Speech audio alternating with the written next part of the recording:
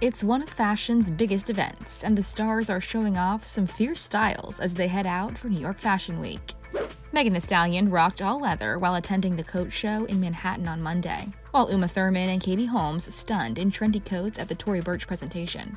Rachel Brosnahan was on trend in monochromatic blues at the Sergio Hudson show on Sunday. Karlie Kloss worked the runway in a stunning ball gown for Brandon Maxwell on Saturday and kept it casual in jeans and a navy jacket after the show. Bella and Gigi Hadid also showed off their street styles as they headed home from their prospective modeling gigs.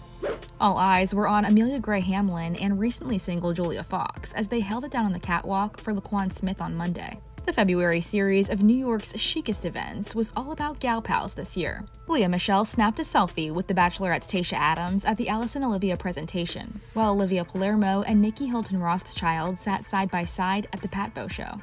Christian Siriano had a star-studded turnout as he unveiled his latest collection, with Danielle Brooks, Hannah Waddingham, Drew Barrymore, Alicia Silverstone, Susan Sarandon, and MJ Rodriguez all sitting front row.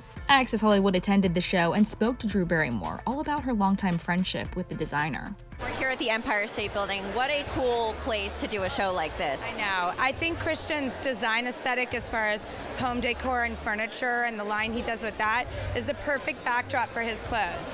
I love that he'll have tulle, but an industrial background.